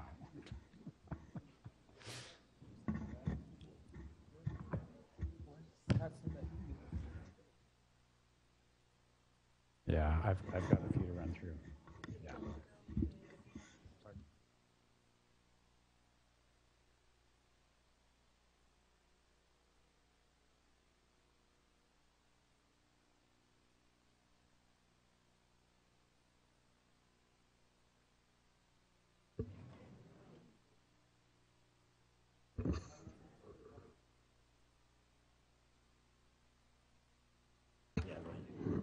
Okay, So we have a few workshops to announce. Howard and I will um, run through them. The first one is um, going to be on November 7th from 1 to 5, and the location's missing from the agenda. It'll be here in this room. And it's to discuss the local impacts caused by shifting markets um, resulting from national sword and other international import policies. We'll discuss AB 939 compliance, including a review of the countywide integrated waste management plan enforcement policy. Uh, We have a couple other workshops in November as well. Um, The first is on, uh, or the second after the the one that Zoe just talked about is on November 13th. Uh, In the morning, it'll be revising the five-year tire plan. This is our uh, every other year process where we look at uh, projected uh, activities for the five-year tire plan, which encompasses all the different tire-related activities in, uh, at Cal Recycle. So that's coming up. The day after that, on November 14th, uh, in the afternoon, we will have a workshop to discuss a possible pilot reuse grant program under the um, Climate Change Investments Program. This is the cap and trade dollars, and the director asked us to look at the possibility of having a grant program for reuse projects. So this will be the first um, public discussion of that. And uh, in between there, I forgot, to- these weren't in order, um, coming up, uh, after the, the day after the National Sword Workshop, we will have uh, a workshop on the threats posed by uh, lithium batteries and the fires that have been occurring in MRFs and other places. That'll be led by uh, Teresa Bowie here in the front. So that's in the afternoon as well on November 8th. So we have a lot of workshops coming up pre-Thanksgiving. Okay, I will, I guess I will keep going. I have a number of local assistance and grant items uh, before we get to solid waste and um, Department of, Re- Division of Recycling um, presentation. So we'll try to, to go through these. These are pretty quick except for one. Um, The first item is just a five-year review report for the countywide integrated waste management plan for Alameda County. That's something that we have to uh, have in a public meeting, and that's been approved by Kara. Uh, Thanks to Julia Dolph, I don't see her here, but she for prep- prepping that. The second item is a little more uh, meaty, and this is concerning the process for, under AB 20 1826, we're going to have to make some decisions in about two years about uh, who, what generators are going to be required to meet uh, the AB 1826 requirements. And there are a number of decision points in that. And while it's a ways off, um, it's something that we want to lay out to, to stakeholders as to how we're going to approach that decision so they know now what to, what to uh, be planning for, at least be thinking about. Up to now, the triggers, uh, the ratchets of who's, uh, what generators are included have been automatic, they've been in statute. Now we're at a point where it's a discretionary decision with some different factors that we have to consider. So Kara's going to go ahead and outline that process for us. Thank you, Howard. So as Howard uh, mentioned, AB 1826 established new requirements for mandatory commercial organics recycling. And in that legislation, created a series of downward ratcheting generation thresholds for these generators that are subject to the law. In 2019, that threshold drops down again to four cubic yards of solid waste per week, and I'll talk a little bit more about that later.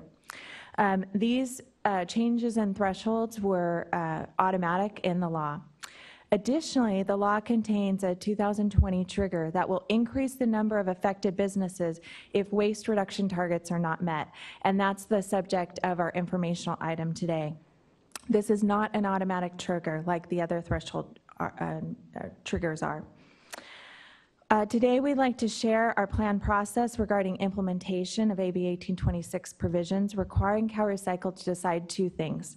One, uh, if Cal Recycle to decide whether to require businesses that generate two or more cubic yards of solid waste per week to arrange for recycling services starting on or after January 1, 2020. And second, whether to extend the rural exemption from these requirements. As Howard noted, while we don't have to make this determination immediately, we felt it was important to inform stakeholders about our, our plan process. And we also wanted to give stakeholders an opportunity to um, ask any questions or share any input that they might have. So this is what we're planning on doing um, in early 2020.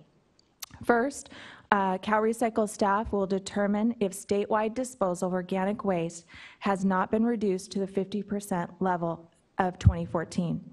I do want to point out that this AB 1826 trigger is based on whether there is a 50% reduction in AB 1826 organics from the 2014 level. Um, Reminding everyone that the AB 1826 organics include food waste, green waste, landscape and pruning waste, non-hazardous wood waste, and food soiled paper waste that's mixed with food waste. This definition of organics is narrower than the definition proposed in the pending rulemaking to implement SB 1383.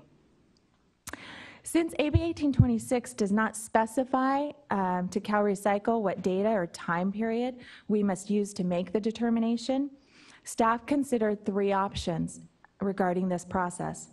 They all revolved around the timing of waste characterization study data, as well as recycling and uh, disposal reporting system data.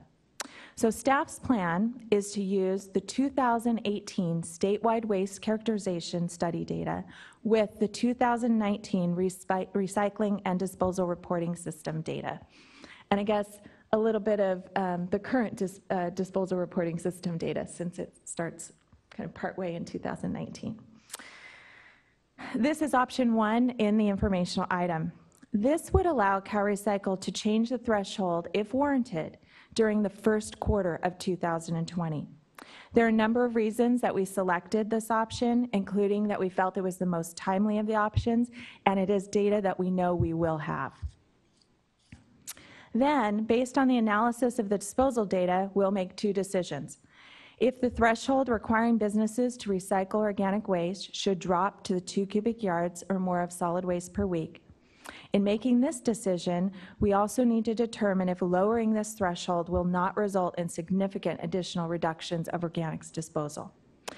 I would like to point out that if we do make this determination in early 2020, CalRecycle will allow jurisdictions until the end of 2020 to complete the process of providing organics collection service to all regulated entities. Now I'd like to talk about the rural jurisdictions. Under 18, AB 1826, if statewide disposal of organic waste has not been reduced by 50% to the 2014 level, then this rural exemption terminates. Unless CalRecycle determines that eliminating the rural exemption will not result in significant additional organic disposal reductions. So in 2020, if the relative impact by rural jurisdictions on statewide disposal is not significant, Cal Recycle staff plans on extending the current AB 1826 exemption until January 1, 2025. I would like to point out that this does align with the proposed SB 1383 draft regulations. Also, the SB uh, 1383 draft regulations do not conflict with the decision-making process that we're making here regarding AB 1826. And since I have the microphone still, I would like to mention that the 2019 threshold for AB 1826 does ratchet down January 1, 2019. That is months away. And it's CalRecycle's expectation that jurisdictions are already prepared to implement that lower threshold. This is going to mean there are a significant number of businesses that now need recycling service or need to recycle their organics.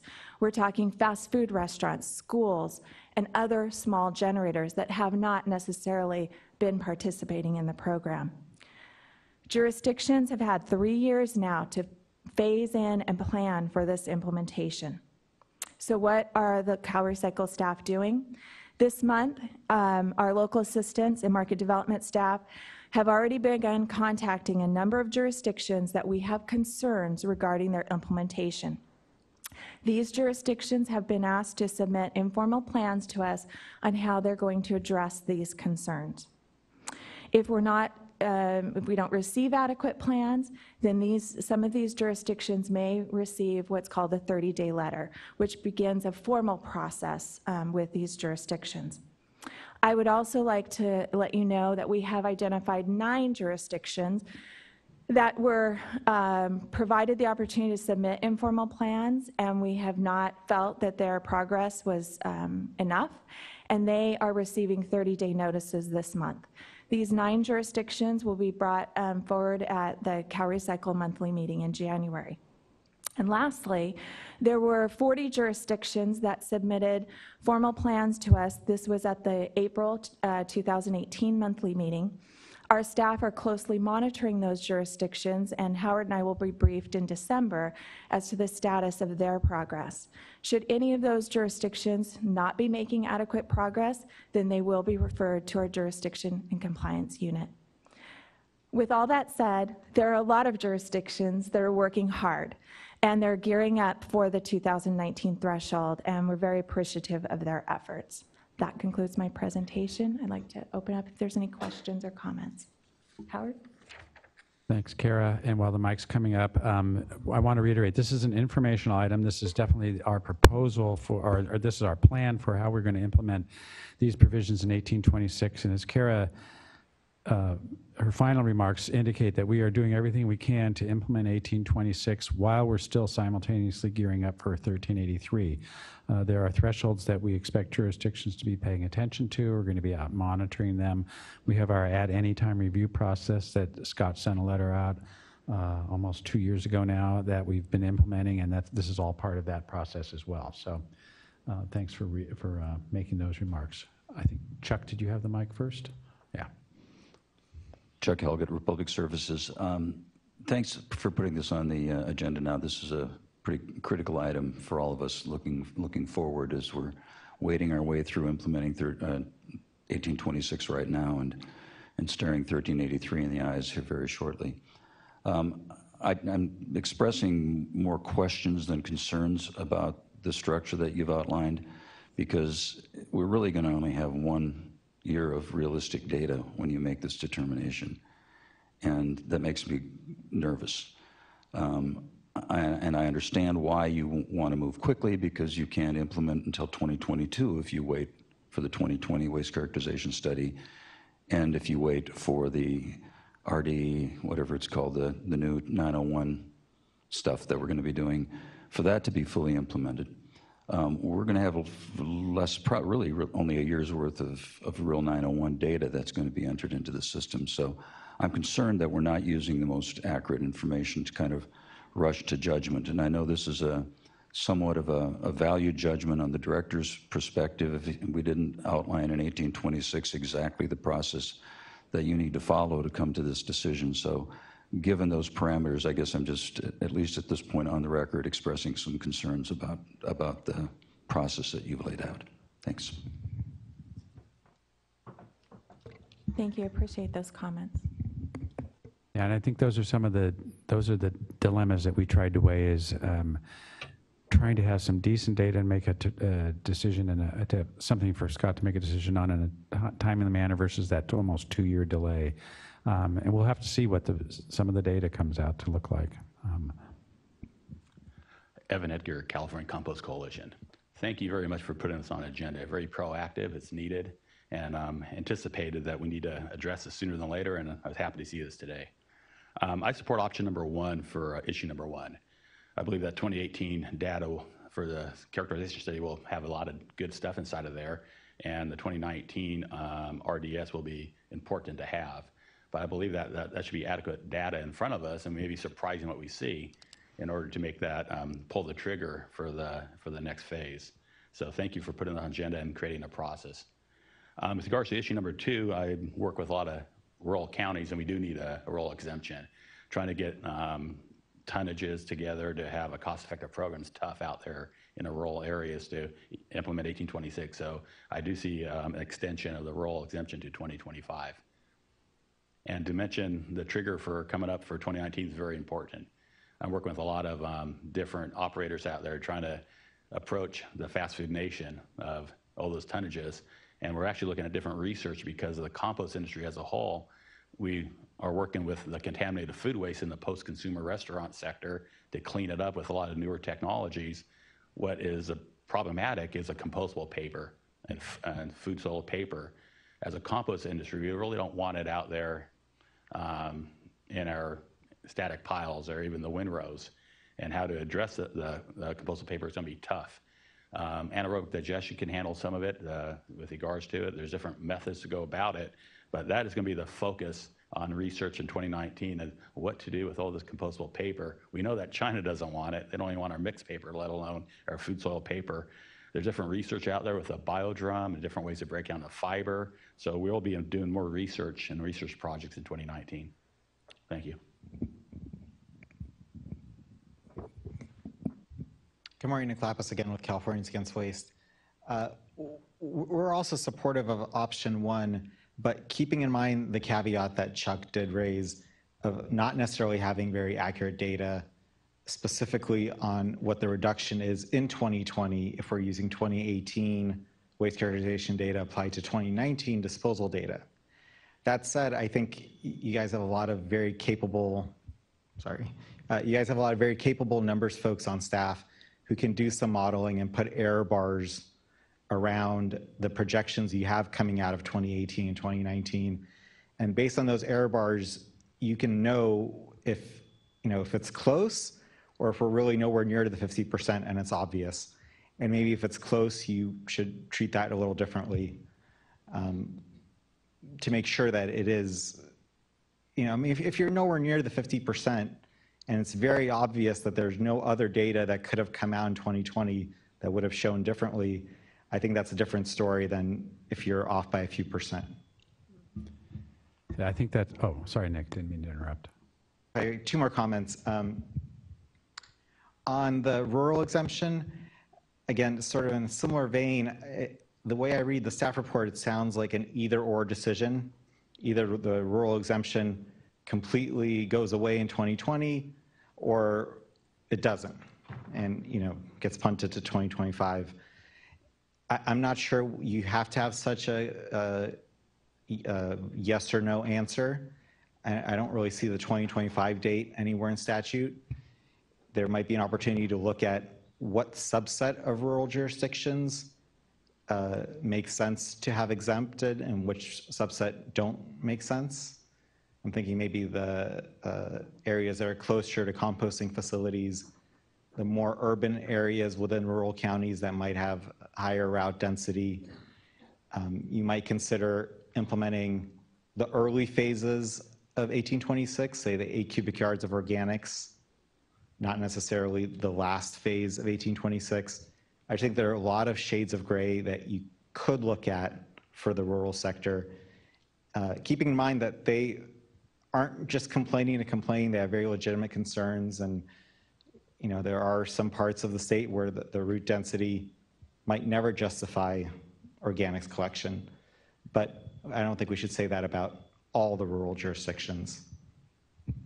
And my final point is, whatever you decide to do on both of these items, it'd be great if you could make that decision prior to 2020, so that the only thing you have to do in 2020 is uh, look at the trigger and say yes or no, but the jurisdictions will already know what the requirements are come January 1st, 2021, or whatever you choose.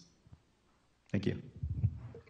Thank you so much for all those comments. Um, And the, the second point you raised, we'll have to look at that. I'm not sure we have as much flexibility to carve out a subset of rules, but we'll, we'll take that, look at that.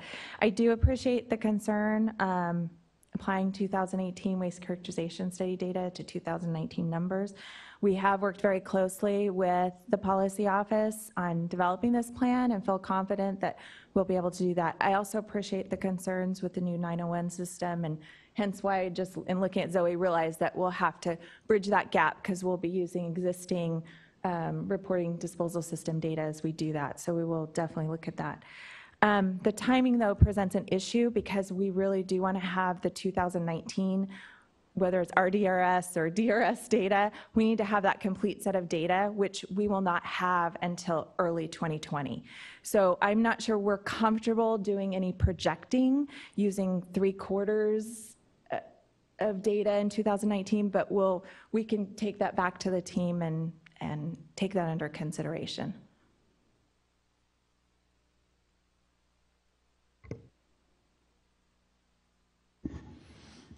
Okay, thanks, Kara, very much, and thanks for those comments. Uh, it Definitely was worth getting this out early so we could have that feedback.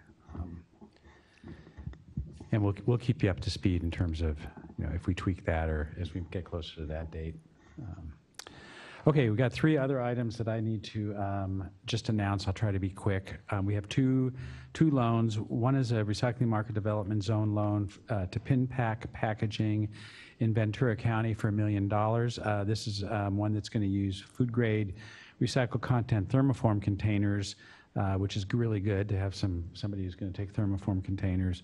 Uh, uh, And that will be, um, that's already been approved, it's just an announcement. The second is a greenhouse gas reduction loan for rPlanet Earth in Los Angeles. This is the second loan to rPlanet.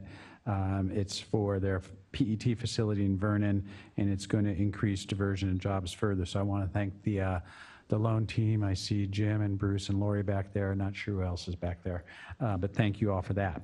And then lastly, uh, to announce the awards for our used oil payment program uh, for fiscal year 18-19.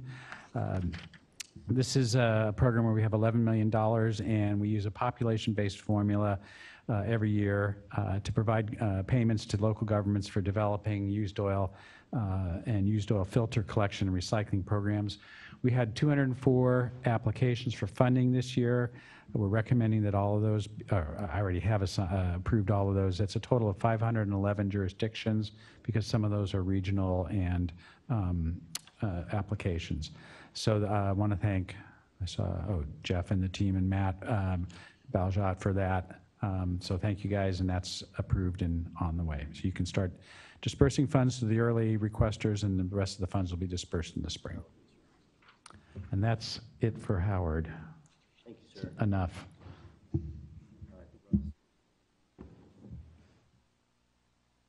Great, great. So um, I'll ask Sue to come up, and as she does, um, I just wanted to join in in recognizing Tom Estes, too. Um, I joined uh, the Waste Management Board as a landfill inspector a few years after Tom joined, and always appreciated the pre-939 folks and all the base work that they did and made it easier for the new folks coming in and picking up the, the, uh, the mantle and moving it forward. Um, Always appreciated that, that work with the open dump survey and other things. And Tom's always been helpful and supportive of program in his capacity as uh, head of admin, so thank you, Tom. I'll add in, thanks, Tom. You're a great guy. All right, time for the permits. So mentioned and continuing on from last month is, are the first two items, IMS Recycling Services in the city of San Diego and El Sobrante Landfill in Riverside County. So we're still processing those, we're almost done. New to this month's agenda is the City of Watsonville landfill in Santa Cruz County. It's a revised solid waste facilities permit, and action is needed November 27, 2018. The proposed revision will allow for an increase to the final elevation from 325 to 339 feet mean sea level in Phase 3, and update the permit to reflect the total design capacity rather than the remaining capacity. Also new is Santa Maria Regional Landfill, Santa Barbara County revised solid waste facilities permit, and action is needed December 8th, 2018. The proposed revision will allow for an increase from 362.5 to 410 feet mean sea level, an increase to the estimated closure date from 2018 to 2027, and a change in hours for the receipt of waste from 5:30 a.m. to 7 p.m. Sunday to Saturday to 5 a.m. to 7 p.m. Sunday through Saturday. And not on the agenda, but currently in-house is Bay Area Tire Recycling in Alameda County. This is a major waste tire facility permit, and action is needed April 8th, 2019. This is an existing tire operation with a minor waste tire facility permit. The new major permit will allow for up to 30,000 waste tires on the premises at any one time. That's all I have for you this month. Are there any questions? Thank you. Thanks, Sue. Um, Should I do H1? Okay, I'll do H1, which is, I don't have anything to say on H1. Nothing new. Um, Next month, I expect a a more detailed, complete report. There's a a lot of things that I reported on last month that are still in process and should be concluded by um, early November.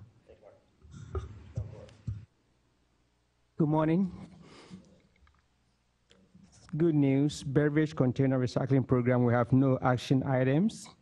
The other good news is still morning, and I'm going to be done before noon. We will start with um, informational items, starting from my own branch. We're going to focus on the convenience zones, which is the half-mile radius around supermarkets. Um, We typically show the four major cities in the state, LA, San Diego, San Jose, and San Francisco. Statewide, we still have low-served convenience zones. It's 36% right now compared to 38 um, last year this term.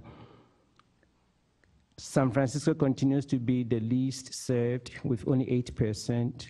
Um, It's not improving, but we're hoping that um, consumers are finding places where they can recycle.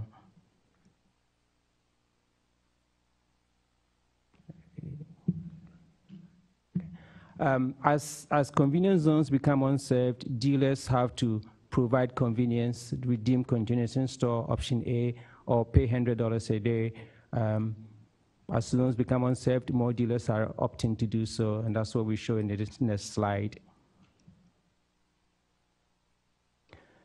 If there happens to be a served zone with a recycling center, the recycling center can get handling fees.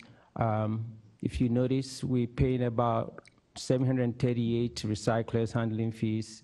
The number has gone down, so is the amount that they are getting, and that's because the rate per container was reduced earlier this year. The other activity function in my shop is also beverage manufacturers and distributors. As new products are introduced in the state, we register the companies and we look at their labels, make sure that they are properly labeled. And so we've been adding more distributors and beverage manufacturers to the program. So currently we are Currently, we have uh, about 4,200 distributors and beverage manufacturers in the program.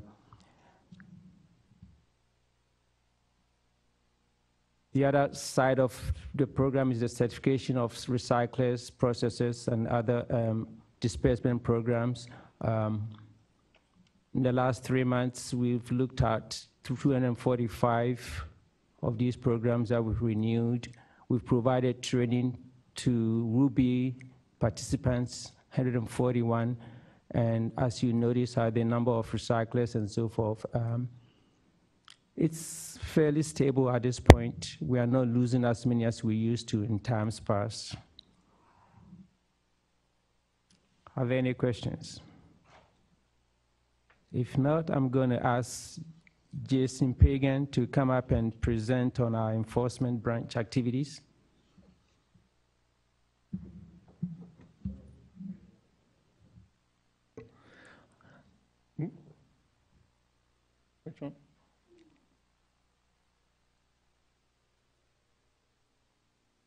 No, I'm trying to, there we go, sorry. Um, I would like to also acknowledge Tom Estes and thank him for his hiring of my wife back in uh, the early, ni- in the late 90s that brought me here as well. So thank you. Um, Our stats for the enforcement branch have been updated online. I'm just presenting some highlights. The first is that uh, the probationary reviews, these are um, entities that are on probation, uh, the increase in their penalty assessments from 5,200 to 65,000, an 11,000% increase. Whoops, I think I click happy, sorry. Um, The denial or termination of certificates increased from five in the quarter of 2017 to 15 this quarter. Uh, it's 300% increase.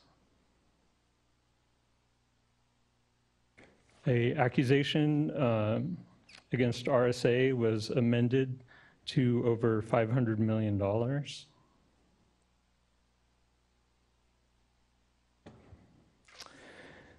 The number of IMRs, imported material reports, this is material that's coming from out of state into California, decreased significantly from 1,473 to 842, a 43% decrease. So that is very good. That means uh, hopefully less material is being sold as CRV that shouldn't be. And finally, there were some arrests by our DOJ partners. In the second quarter, one was in San Bernardino County, a single individual with 7,700 pounds of material, uh, nearly 10, over $10,000, charged with bringing containers to the marketplace from out of state, conspiracy, and attempted grand theft. Also in San Bernardino County, six other individuals were arrested with over 47,000 pounds of material, over $70,000 in CRV value, and the same charges brought against them, bringing material from out of state, uh, conspiracy and attempted grand theft. And finally, we had someone bringing material in, in their mobile uh, motorhome there, and they were arrested with 907 pounds of material, and they also face uh, charges for bringing material from out of state, conspiracy, and attempted grand theft. Those are our highlights for the quarter. Are there any questions? No? Thank you. Thank you, Jason. At this time, I'm calling Mike Miller to present on behalf of Operations Branch.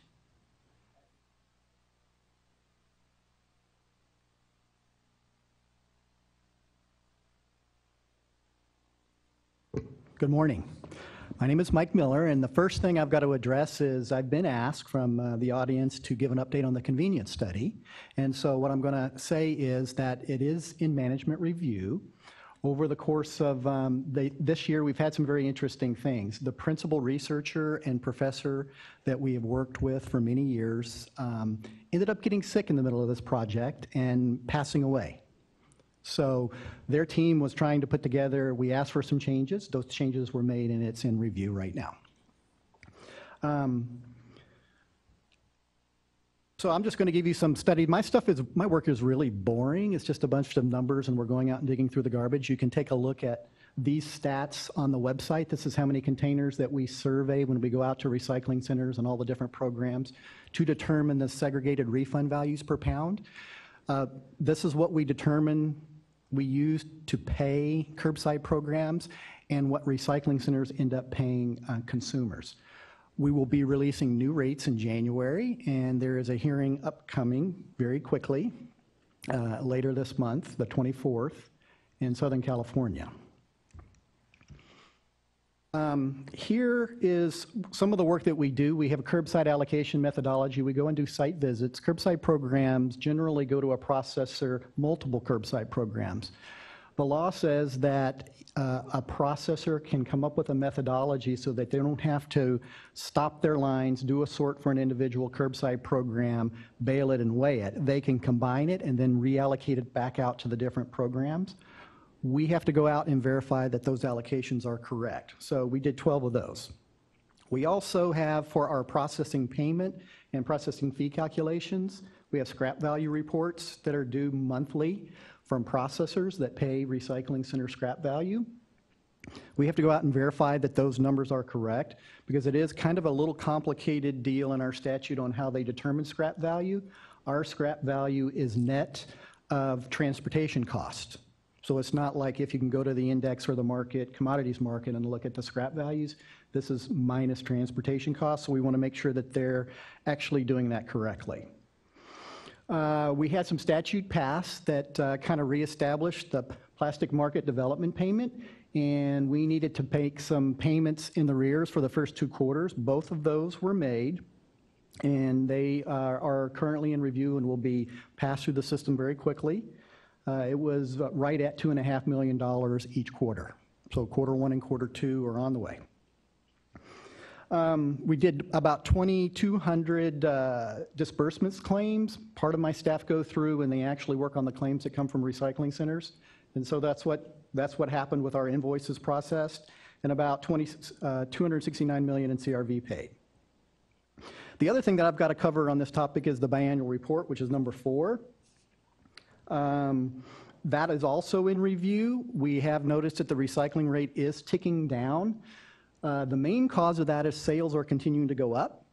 Returns are stagnant. One of my technical staff said they're oscillating. They're going up and down over the last few years, but they're basically stagnant. People are not returning as much as uh, in relationship to sales.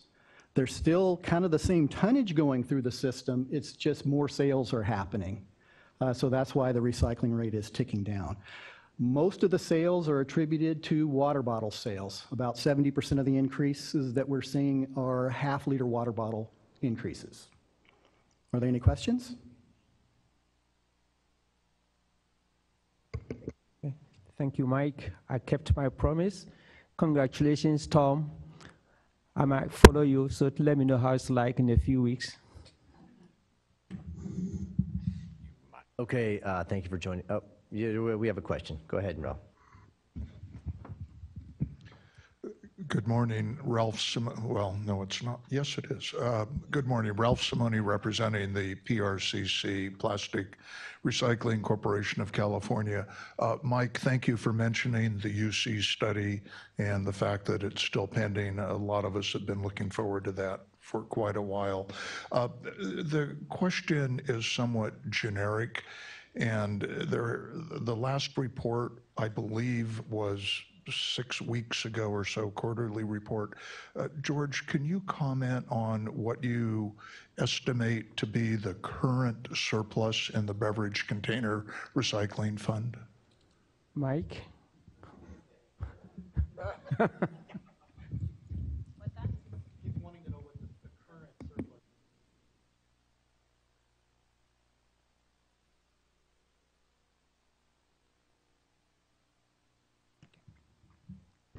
Okay, so we'll get back to Ralph with surplus numbers. Anything else? Okay, thank you for attending the monthly public workshop.